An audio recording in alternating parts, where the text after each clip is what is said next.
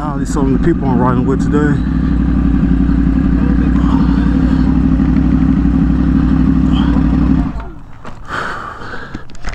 Ah, man, what's going on, man?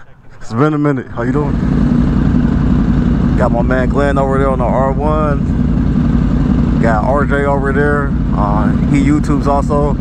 Go subscribe to his YouTube channel.